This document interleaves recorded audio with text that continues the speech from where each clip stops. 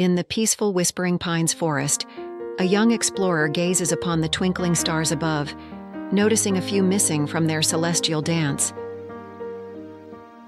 Prepared for his daring quest, the young seeker gathers his essentials as the venerable owl, hoots, imparts silent wisdom from the shadows.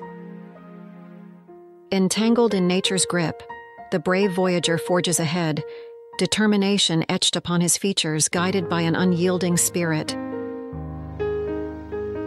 The dark maws of mysterious caves beckon, concealing secrets and challenges for the intrepid wanderer to unearth on his valiant odyssey.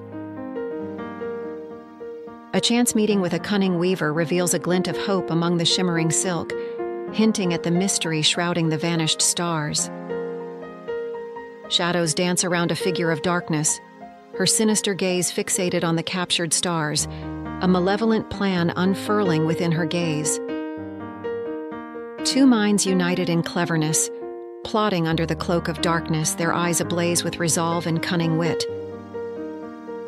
A dazzling spectacle blinds the sorceress, the brilliance of stars breaking free from her clutches, dissolving the shadows of her twisted enchantments.